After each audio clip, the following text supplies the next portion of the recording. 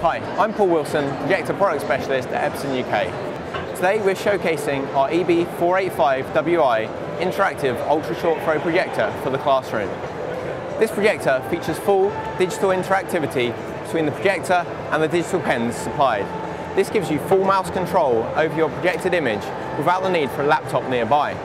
As you can see, the projector tracks the position of the pen against the screen and this can be any plane surface, both wall or table.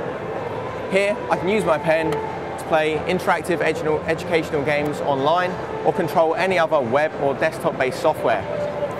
We also have our Epson Easy Interactive Tools toolbar that appears at the side of the screen.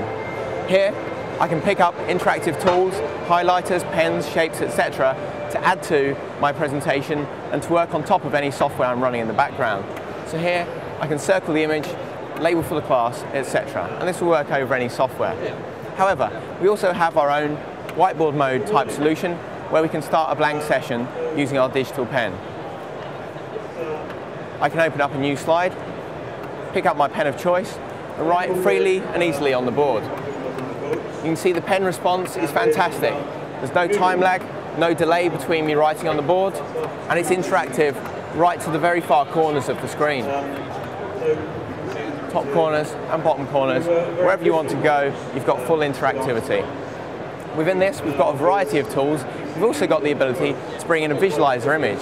So we're showcasing our ELP DC20 optical zoom visualizer today by creating a new screen, going to insert an image, choosing the visualizer, and here we can see the visualizer content. We can add that as an image into the display, and then again, pick up our tools to annotate. So in short, this is Epson's solution for every classroom. Our digital projector with full interactive features gives great control over all of your lessons and presentations. And what's even better is it comes with two pens for dual interactivity for both teacher and student. So Epson's 485WI as part of the Epson Classroom solution.